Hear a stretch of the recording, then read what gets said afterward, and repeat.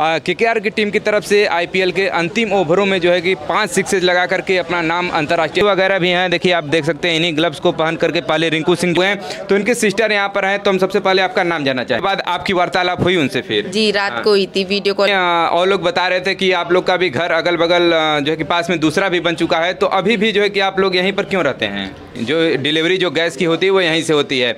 और चाहेंगे इनकी शादी को लेकर के। यहाँ पर इनके पिताजी माता जी और भाभी जी और इनके सिस्टर जी यहीं पर बैठ करके क्रिकेट देख रहे थे हम थोड़ा सा थे थी पापा जी तो सीटी बजा रहे थे। अच्छा पिताजी इनका एक जॉब लगाए थे जहाँ पर झाड़ू और पोछा करने का था। वो वहाँ पर पाया कि शाहरुख खान जो है डायरेक्टली उनसे फिर बाद में जो है बात भी किए थे। लास्ट बार जो है की जब रिंकू सिंह यहाँ कब अपने घर पर पथारे थे?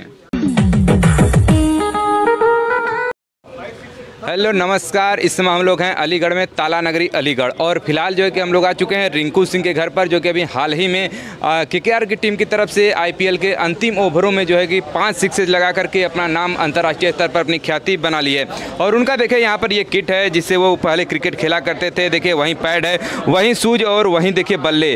और ये देखिए, तमाम जो ये जो किट हैं, ये जो है कि अपने भाई को इन्होंने दिया है। फिर से जो है कि उन्होंने, जो इनके बड़े भाई हैं, पुनः जो है वो मैदान पर उतरे हैं तो उनके लिए देखे तमाम जो इनके देखिए ग्लव्स वगैरह भी हैं। देखिए, आप देख सकते हैं, इन्हीं ग्लव्स को पहन करके पहले रिंकू सिंह जो है, वो खेला करते थे। बाकी देखिए, पैड आप देख ही रहे हैं, पैड और बल्ले और बाकी सूज वगैरह, ये टोटल किट जो है, वो क्रिकेट का है किट और यहाँ पर आप देख सकते हैं इसको। और हम थोड़ा सा घर का नज़ारा दिखाना चाहेंगे, आपको बाहर से देख सकते हैं कि कैसे इसी संघर्षों से गुजर करके रिंकू सिंह अंतर्राष्ट्रीय स्तर तक जो है कि अपने मैच जो है कि वो अपनी ख्याति बना चुके हैं। और आगामी भविष्य में हो सकता है कि नेशनल टीम में भी उनका चयन हो जाए, जिस हिसाब से इनका परफॉर्मेंस चल रहा है। और यहाँ के जो तमाम जो इनके मित्र हैं इनका कहना है कि पहले ये पहले उनका दौर फिर से अब लौट चुका है जो कि कह करके के जो छक्के जो है कि अ, मारते थे। थोड़ा सा हम चाहेंगे छायाकार महोदय थोड़ा सा अंदर आइए और थोड़े इनके जो परिवार के जन हैं जो कि सिस्टर हैं इनकी और इनके जो और भी भाई हैं और जो इनके तमाम जो मित्र हैं जो कि आज यहाँ पर आए हुए हैं और तो बाहर भी बहुत सारे लोगों का यहाँ पर मीडिया से लेकर के तमाम जो अगल बगल के लोग हैं वो भी यहाँ पर इकट्ठा हुए हैं। तो इनके सिस्टर यहाँ पर हैं तो हम सबसे पहले आपका नाम जानना चाहेंगे। मेरा नाम नेहा है। हम्म, तो देखिए नेहा जी हैं जो कि रिंकू सिंह की सिस्टर हैं कैसा लग रहा था जब वो छक्के मार रहे थे उस समय तो? बहुत अच्छा लग रहा था जब मैच देख रहे थे तो उम्मीद नहीं थी कि पाँच बॉल पे पाँच छक्के मार देंगे। मुझे तो यही लग रहा था कि अब तो हार गए। भैया भी मतलब जब खेल रहे थे तो वो उनके भी मन में कहीं ना कहीं यही था कि कैसे बनेंगे? आठ बॉल में चालीस रन चाहिए थे जब। तो जब उन्होंने उसके बाद उसके बाद आपकी वार्तालाप हुई उनसे फिर? जी रात हाँ। को हुई थी वीडियो कॉल पे बात हुई तो थी उन्होंने क्या कहा हाँ मैंने बोला था भैया आपने तो बहुत अच्छा किया। तो मुझे तो बिलीव नहीं हो रहा। तो कह रहे बिलीव कर लो अब अब तो करना पड़ेगा बिलीव believe तो फिर ऐसी बात करते रहे फिर मैंने बोला था खाना खा लिया ये वो है। थोड़ी सी फिर मम्मी से बात करा दो मम्मी से बात करा दी थी। अच्छा। जी। चलिए देखिए जैसा कि इन्होंने बताया कि जैसे जब चेज कोई स्कोर को जब चेज किया जाता है तो अलग तरह जो कि अलग तरीके का एक प्रेशर होता है और नॉर्मली तौर पर ऐसे सिक्सेज लगाना जो है कि अमूमन मुश्किल ही होता है क्योंकि जब किसी चीज़ को आप चेज करते हैं तो एक प्रकार का माइंडली प्रेशर वो भी यहाँ पर बना रहता है। तो देखिए नेहा जी जो है कि हम और कुछ जानना चाहेंगे उनके आगामी भविष्य को लेकर। के जब वो यहाँ पर पहुँचेंगे हर्षोल्लास की क्या उस- जो है कि स्थिति रहेगी? जब वो आएँगे तो खूब पार्टी करेंगे खूब इंजॉय करेंगे सब लोग और वो मेरे लिए गिफ्ट भी लाते हैं जब भी आते हैं जब भी गिफ्ट लाते हैं। चलिए जैसा कि अभी और लोग बता रहे थे कि आप लोग का भी घर अगल बगल जो है कि पास में दूसरा भी बन चुका है तो अभी भी जो है कि आप लोग यहीं पर क्यों रहते हैं? मम्मी पापा यहीं रहते हैं मैं भी आ जाती हूँ। मतलब सब लोग आ जाते हैं वहाँ चले जाते हैं। मम्मी पापा इसलिए रहते हैं पापा का मन नहीं लगता है हाँ। क्योंकि तीस पैंतीस सालों से पापा यहीं रहते हैं तो पापा का यहीं मन लगता है। आपको बता दें कि 1985 से जब से उन्होंने यहाँ पर ड्यूटी ज्वाइन की है, सामने ही यहाँ पर गोदाम है, थोड़ा सा हम दिखाना चाहेंगे, थोड़ा सा छायाकार महोदय। और देखिए, सामने ही गोदाम है जहाँ पर की जो डिलीवरी जो गैस की होती है, वो यहीं से होती है। और जो है कि थोड़ा सा इधर आइए छायाकार महोदय।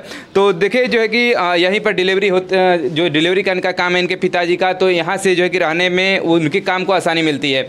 और आज पूरी तरह से व्यस्त हैं, व्यस्त उनका कार्यक्रम है, जो तमाम लोग जो है कि बाइट लेने के लिए यहाँ पर पहुँच रहे हैं। और तमाम लोग जो है कि शुभकामना देने के लिए भी यहाँ पर पहुँच रहे हैं जो अगल बगल के लोग हैं वो भी। और काफ़ी दूर दूर से भी लोग चल कर आ रहे हैं जिससे भी हम लोग यहाँ पर चर्चाएँ कर रहे हैं। तो और जो है कि क्या कहना चाहेंगे इनकी शादी को लेकर के? कुछ नहीं अभी शादी के बोलते तो यही बोलते हैं कि जब तक ब्लू जर्सी नहीं पहनूँगा जब तक शादी नहीं करूँगा। जमाने माने जब तक नेशनल टीम में नहीं खेलेंगे तब तक अभी शादी नहीं करेंगे।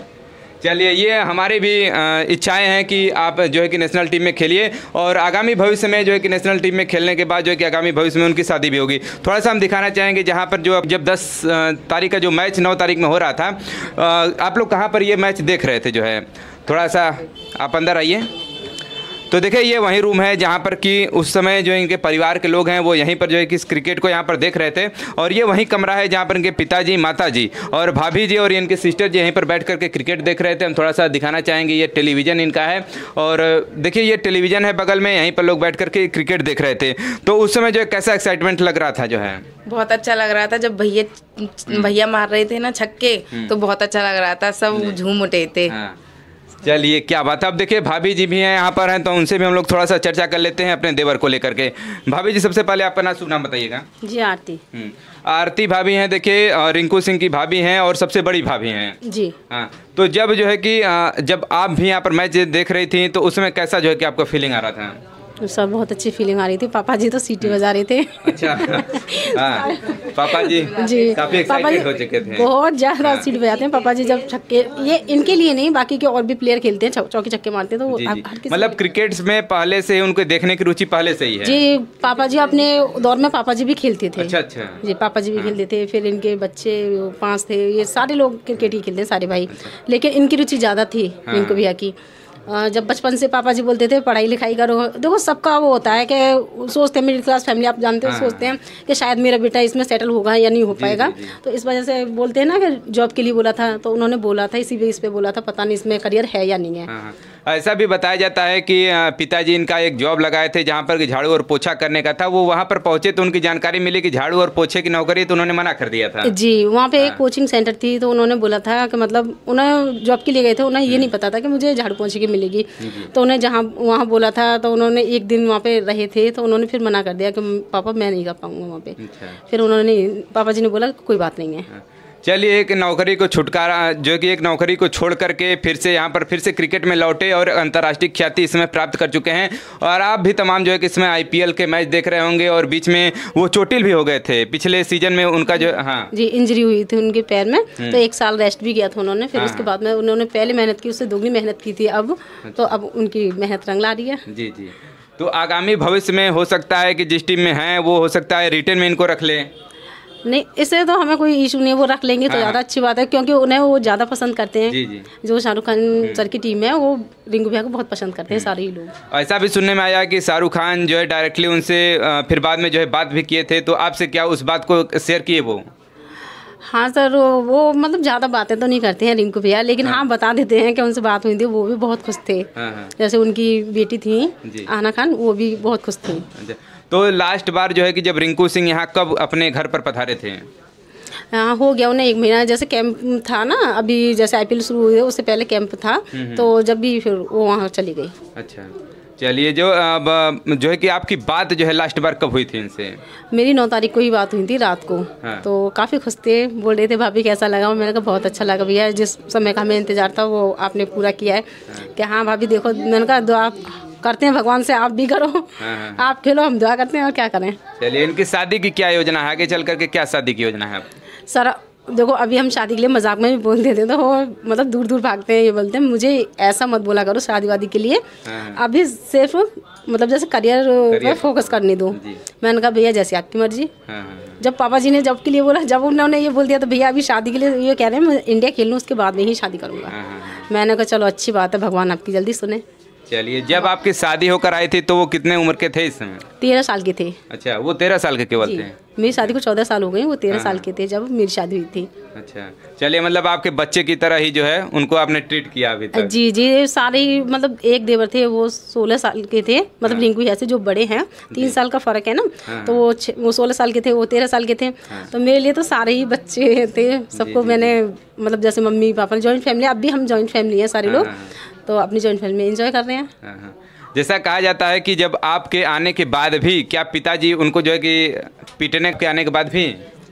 नहीं थोड़ा मतलब जैसे मेरे आने से पहले ही पापा जी मतलब जो मारा पीटा होगा तो उसका मुझे तो खैर नहीं पता है। लेकिन हाँ डांटते थे हाँ। कि ये मत करो वो मत करो और सारे लोग जैसे बोलते हैं गली मोहल्ले के तो बोलते हम्म, हैं कि आपके बच्चे सारे ही मैच खेलते हैं ऐसा थोड़ी ना है कि सारों का करियर बन जाएगा उसमें। जी जी। तो आप कहते हैं ना ताने कुछ सुनने भी पड़ते हैं किसी के इग्नोर भी करने पड़ते हैं। हाँ। तो इग्नोर किए थे और कुछ बोल रहे थे कुछ कह रहे थे खेलो खिलाओ अपने बच्चे को हाँ। बहुत अच्छा खेल रहा है। तो फिर हमने कहा पापा जी अब देख लो।